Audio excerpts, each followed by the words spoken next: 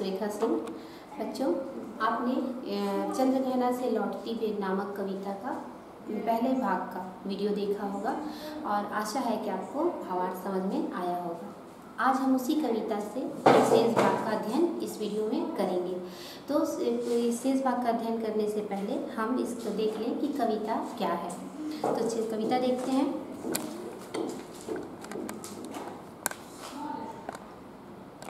बच्चों, पिछले वीडियो में हमने प्रकृति का अनुराग अंचल हिल रहा है, तक की पंक्तियों का हमने अध्ययन किया था।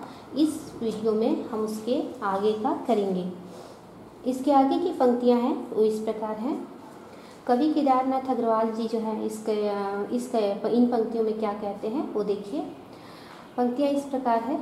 इस विजन में दूर व्यापारिक नगर से प्रेम की प्रिय भूमि उपजाऊ अधिक है। और पैरों के तले है एक पोखर। उठ रही इसमें लहरियाँ। नील तल में जो उगी है घास पूरी ले रही वह भी लहरियाँ। एक चांदी का बड़ा सा गोल खंभा आँख को है चकमकाता। है कई पत्थर किनारे, पी रहे चुपचाप पानी, प्यास जाने कब बुझेगी। चुप खड़ा बगुला डुबाए टांग जल में, देखते ही मीन चंचल ध्यान निद्रा त्यागता है। चट दबाकर चोंच में नीचे गले के डालता है। एक काले माथे वाली चतुर चिड़िया श्वेत पंखों के झपाटे मार फ़ौरन टूट पड़ती है भरे जल के हृदय पर। एक उजली चटुल मछली चोंच पीली में दबाकर दूर उड़ती है गगन में। बच्चों, इन पंक्तियों में कवि केदारनाथ अग्रवाल जी क्या कह रहे हैं, अभी हम वो देखते हैं। तो सबसे पहले, जो पंक्तियाँ हैं, का इस विजन में दूर व्यापारिक नगर से प्रेम की प्रिय भूमि उपजाऊ अधिक है। तो पिछली कविता में, वीडियो में आपने देखा था कि जो कवि हैं, वो चंद्रगहना से लौट रहे थे और चंद्रगहना से लौटते समय उनकी आँखों के सामने जो दृश्य दिखाई दे रहा था, जो प्राकृतिक सुंदरता दिखाई दे रही थी, उससे प्रभावित होकर उन्होंने कविता की रचना की थी। फागुन का महीना था और पिछली वीडियो में मैंने बताया था कि फागुन का महीना है और चने की और अलसी की, सरसों की खे, जो फ़सल है वो खेतों में लहलहा रहे थे और कवि जो है उसका बहुत अच्छा वर्णन इसमें किए थे। मानवीकरण अलंकार का उन्होंने उपयोग किया था। अब आगे जो है कवि क्या जो दृश्य देख रहे हैं वो बता, उसका वर्णन कर रहे हैं। कि कवि कहते हैं, इस विजन में दूर व्यापारिक नगर से। विजन का अर्थ होता है मानव रहित, जहाँ पर लोग नहीं रहते, सुनसान, निर्जन निर्जन प्रांत को हम कहते हैं विजन। तो कवि कहते हैं कि इस निर्जन प्रांत में, जो, इस निर्जन प्रांत की जो भूमि है, वो मुझे दूर व्यापारिक नगरों से अधिक प्रिय है। अब लोग कवि जो है, वो नगरों को व्यापारिक नगर क्यों कह रहे हैं? व्यापारिक क्यों कह रहे हैं? तो क्या है बच्चों, कि व्यापार जो होता है, वो लाभ की भावना पर आधारित होता है। उसमें लाभ की भावना होती है। कोई भी व्यक्ति जब व्यापार शुरू करता है या व्यापार करता है तो उसके अंदर एक ही भावना होती है कि लाभ कमाया जाए। और जहाँ पर लाभ की भावना होगी, वहाँ पर स्वार्थ होगा। तो कवि कहते हैं कि ये जो नगर है जो शहर है, जो व्यापारिक शहर है, व्यापारिक शहर मतलब स्वार्थी शहर जहाँ पर लोग बहुत ही स्वार्थी हैं, जो केवल अपने लाभ के लिए ही रिश्ते बनाते हैं। तो कवि कहते हैं कि उन स्वार्थी शहरों से मुझे यह सुनसान भूमि अधिक प्रिय है, क्योंकि यहाँ की भूमि में प्रेम अधिक उत्पन्न होता है। यहाँ की भूमि जो है, वहाँ से प्रेम की का उत्पादन अधिक होता है। तो इस कविता की पंक्ति में कवि यही कहते हैं कि इस विजन में दूर व्यापारिक नगर से प्रेम की प्रिय भूमि उपजाऊ अधिक है। आगे की पंक्ति में क्या है? और पैरों के तले है एक पोखर, उठ रही इसमें लहरियाँ। नील तल में जो उगी है घास भूरी, ले रही वह भी लहरियाँ। अब जहाँ कवि बैठे हैं उनके पास, उनके जो नीचे पैरों के पास, यानी नीचे जो ज़मीन है, उस पर एक पोखर है। पोखर क्या है? पोखर एक जलाशय या तालाब है। तो जलाशय या तालाब जो छोटा मोटा आप लोगों ने सभी का प्राय गाँव में देखा होगा, तालाब होता है। तो कभी उस तालाब को जहाँ बैठे हैं, उनके पैरों के पास एक छोटा सा तालाब है। तालाब का पानी बहुत ही स्वच्छ है। कैसे? तो कभी जो कहते हैं कि इसमें तालाब में जो लहरें उठ रही हैं, जो हवा के चलने से उसके पानी में जो छोटे छोटे लहर उठ रहे हैं, जिसे कवि ने लहरियाँ कहा है, लहर उठ रहे हैं, उन लहरों के साथ जो तालाब के जो तल में भूरे भूरी घास उगी हुई हैं, वो भी उनके साथ हिल रही हैं। ऐसा लग रहा है, मानो वो भी क्या हो रही हैं, लहलहा रही हैं। फिर आगे क्या कहते हैं? एक चांदी का बड़ा सा गोल खंभा आँख को है चकमकाता और उस तालाब में एक बड़ा सा चांदी का गोल खंभा है। अब चांदी का गोल खंभा कैसे? आप सोचेंगे, तालाब में चांदी का गोल खंभा क्या है? तो बच्चों, ये है कि जब सूर्य की रोशनी तालाब में पड़ती है, पानी में पड़ रही है तो वह एक चांदी के चमकते हुए खंभे के जैसे प्रतीत हो रही है। ऐसा लग रहा है मानो तालाब के मध्य में एक खंभा लगा हुआ है और वो चांदी के जैसे चमक रहा है। उसकी चमक इतनी तेज है कि वो आँखों को चौंधिया रही है। चौंधियाना मतलब आँखों को ठीक से देख पाने में मुश्किल हो रही है, परेशानी हो रही है। तो वही कवि कह रहे हैं कि चांदी जो सूर्य की किरणें पड़ रही हैं तालाब में, वो एक चांदी के खंभे के जैसे प्रतीत हो रही हैं, लग रही है। और उससे जो रोशनी निकल रहा है, वो आँखों को चौंधिया रहा है। उसे देखने में परेशानी हो रही है।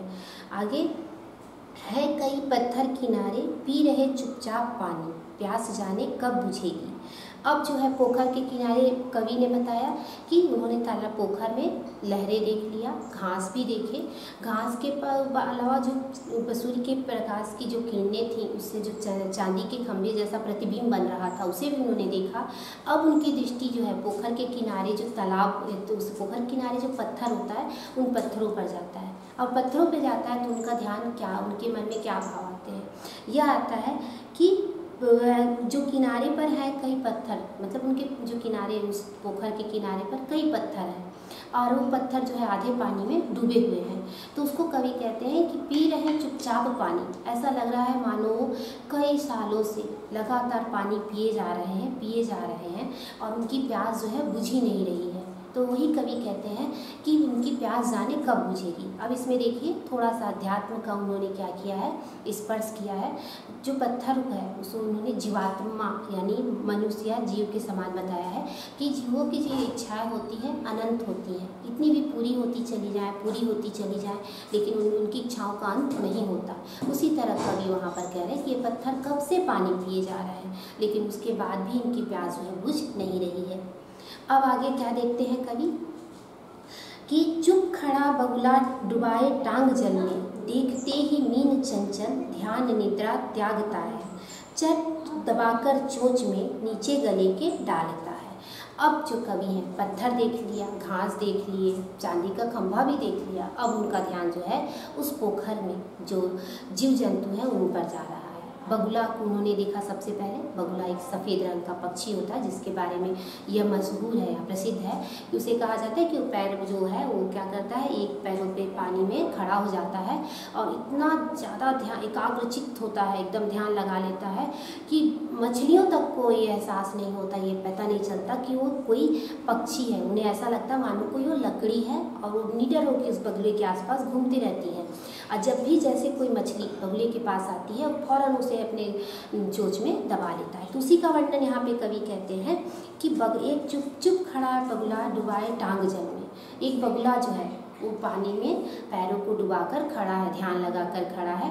और जैसे ही कोई चंचल मछली, मीन ही मीन मीन का क्या मतलब होता है? मीन का अर्थ होता है मछली और मछली चंचल होती है पानी में कितनी ज़्यादा इधर उधर करते रहती है तो चंचल होती ही है। तो कवि कहते हैं कि जो बगुला है, जैसे ही वो किसी चंचल मछली को देखता है, वो अपनी ध्यान निद्रा को त्याग देता है। ध्यान निद्रा को त्याग कर तुरंत मछली को अपने चोंच में दबाता है और अपने गले के नीचे उतार लेता है। गले के नीचे उतारना मतलब खा लेना उसे खा जाता है। आगे बगुला को देखा बगुला को देखा, अब उन्होंने क्या आप क्या देखते हैं? एक उजली चटुल मछली चोंच पीली में दबाकर दूर उड़ती है गगन में। अब कभी जो कहते हैं, बगुला को देखते हैं, उसके बाद एक छोटी सी पक्षी चिड़िया है, जिसका जो है माथा है, काले रंग का है, बहुत वो पानी के सतह पर, ऊपर ऊपर उड़ती रहती है। और जैसे ही कोई सफ़ेद, चंचल सफ़ेद मछली श्वेत का अर्थ होता है चटुल का अर्थ होता है चालाक या चतुर। तो उसको कहते हैं कि जैसे कोई वो चालाक या चतुर मछली देखती है, अपने सफ़ेद पंखों को तुरंत फैलाती है और पानी में चोच डुबाकर उस मछली को दबाकर, पीले चोच में, उसका जो चोच है वो पीले रंग का है, पीले चोच में उस मछली को दबाती है और लेकर दूर आसमान में उड़ जाती है। आगे की पंक्तियाँ देखिए क्या है। आगे की पंक्ति में कवि कहते हैं और यहीं से भूमि ऊँची है जहाँ से रेल की पटरी गई है। ट्रेन का टाइम नहीं है। मैं यहाँ स्वच्छंद हूँ, जाना नहीं है। चित्रकूट की अनगढ़ चौड़ी, कम ऊँची ऊँची पहाड़ियाँ दूर दिशाओं तक फैली है बांझ भूमि पर। इधर उधर रीवा के पेड़ कांटेदार कुरूप खड़े हैं। सुन पड़ता है मीठा मीठा रस टपकाता सुगे का स्वर। टे टे टे टे। सुन पड़ता है, वनस्थली का हृदय चीरता। उठता, गिरता, सारस का स्वर, टिरंटो टिरंटो। मन होता है उड़ जाऊँ मैं, पर फैलाए सारस के संग। जहाँ जुगुल जोड़ी रहती है, हरे खेत में, सच्ची प्रेम कहानी सुन लूँ चुप्पे चुप्पे। अब जो कवि है, वो पोखर तो देख लिए उसके आगे कवि क्या देखते हैं? इन पंक्तियों में कवि ने उनका और उसका वर्णन किया है। कवि का ध्यान जो है, पोखर से हटकर, थोड़ी दूरी पर, एक ऊँची ज़मीन के ऊपर जाती है। और जाते, क्या देखते हैं वहाँ पर? वो कहते हैं, और यहीं से भूमि ऊँची है, जहाँ से रेल की पटरी गई है, ट्रेन का टाइम नहीं है। कवि कहते हैं कि और यहीं से थोड़ी दूरी पर जो भूमि है, वो थोड़ी ऊँची है। थोड़ी सी समतल से उठकर है, ऊँची है और वहाँ से रेल की पटरी जा रही है। आप लोगों में भी देखा होगा कि ट्रेन की पटरियाँ अक्सर थोड़ी ऊँचे स्थान पर होती हैं तो वहाँ से ट्रेन की, रेल की जो पटरी है, जा रही है और फिर कभी कहते हैं कि ट्रेन का टाइम नहीं है, अभी ट्रेन के आने का समय नहीं हुआ है। अब इस पर मैं आपको एक ध्यान दिलाती हूँ कि आप यहाँ पर देखिए, रेल, ट्रेन और टाइम, ये तीनों क्या है? विदेशज शब्द हैं। आप लोगों ने पढ़ा होगा, तत्सम शब्द तद्भव शब्द देश शब्द और विदेश शब्द तो हिंदी हमारी इसीलिए इतनी समृद्ध भाषा मानी जाती है, क्योंकि इसमें कई भाषाओं से जो शब्द हैं, वो आज इसके इतने अभिन्न अंग बन गए हैं कि हम उन्हें हिंदी के ही शब्द मान लेते हैं, हिंदी भाषा से ही मान लेते हैं। तो ये जो है हिंदी में विदेश शब्द का प्रयोग किया है कवि ने। तो कवि कहते हैं कि ट्रेन की पटरी गई है और ट्रेन का अभी समय नहीं हुआ है, ट्रेन का समय अभी नहीं हुआ है। मैं यहाँ स्वच्छंद हूँ, जाना नहीं कवि कहते हैं कि मैं यहाँ पर बिल्कुल स्वतंत्र हूँ स्वच्छंद का मतलब होता है स्वतंत्र मैं यहाँ एकदम स्वतंत्र हूँ मैं जितनी देर चाहूँ बैठ कर देख सकता हूँ, क्योंकि मुझे कहीं जाने की जल्दी नहीं है। फिर आगे की पंक्ति में कवि क्या कहते हैं? चित्रकूट की अनगढ़ चौड़ी, कम ऊँची ऊँची पहाड़ियाँ। दूर दिशाओं तक फैली है। अब जो कवि जो है, वो चित्रकूट के क्षेत्र में है। चित्रकूट जो है, उत्तर प्रदेश का पठारी इलाका है। पठारी इलाका आप जानते होंगे। ऊँची नीची ज़मीन भूमि होती है और थोड़ा कम उपजाऊ होती है। तो कवि जो कहते हैं कि और ये चित्रकूट की अनगढ़ चौड़ी पहाड़ियाँ। चित्रकूट की पहाड़ियाँ जो है छोटी छोटी पहाड़ियाँ, वो जो है, जो कम ऊंचाई वाले, अनगढ़ का अर्थ होता है, जी, बिडौल, प्राकृतिक रूप से जैसा होता है। तो कवि कहते हैं कि दूर तक ये चित्रकूट की जो प्राकृतिक बेडौल पहाड़ियाँ हैं, वो दूर तक फैली हुई हैं। दूर चार मतलब जिधर हर दिशाओं में, मैं जिधर देखता हूँ दूर दूर दिशाओं तक वो पहाड़ियाँ फैली हुई हैं। बांझ भूमि पर इधर उधर रेवा, रीवा के पेड़, कांटेदार कुरूप खड़े हैं और उस बांझ भूमि बांझ का अर्थ होता है बंजर, जहाँ पर उत्पादन नहीं होता या बहुत कम मात्रा में होता है, उसे हम कहते हैं बांझ भूमि बांझ है बंजर भूमि तो कवि कहते हैं कि चित्रकूट की जो बंजर भूमि है, यहाँ पर दूर दूर तक रीवा के पेड़ खड़े हैं। रीवा एक बबूल के पेड़ के जैसा कांटेदार पेड़ होता है।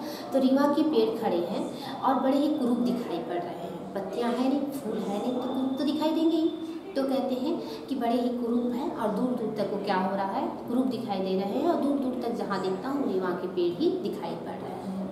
उसके बाद कवि क्या देखते हैं? सुन पड़ता है मीठा मीठा रस टप टपकाता सुगे का स्वर टे टे टे अब कवि कहते हैं, बैठे हुए हैं ट्रेन की पटरी देख रहे हैं, चित्रकूट की पहाड़ियाँ देख रहे हैं ग्रीवा के पेड़ देख रहे हैं। अचानक उन्हें क्या सुनाई देता है? सुन पड़ता है। उन्हें सुनाई देता है सुगे का मीठा स्वर सुगा तोता, जिसे आप सब जानते हैं, हरे रंग का, लाल, जिसकी लाल चोच होती है और वो जो मनुष्यों की नकल करता है। तो कवि कहते हैं कि सुगे का मीठा स्वर जो टे टे टे कर रहा है, वो सुनाई पड़ रहा है। और साथ में उसे क्या सुनाई दे रहा है? कि वनस्थली का हृदय चीरता उठता गिरता, सारस का स्वर, सारस एक पक्षी होता है। उसके बारे उसका स्वर जो है, टिरंटो टिरंटो का स्वर जो है, कभी तेज, कभी मध्यम, ऐसे स्वर जो है स्वन क्षेत्र की शांति को भंग करता हुआ कवि के कानों में तक सुनाई पड़ रहा है। और कवि जब सारस का स्वर सुनते हैं तो उनके मन में क्या इच्छा होती है?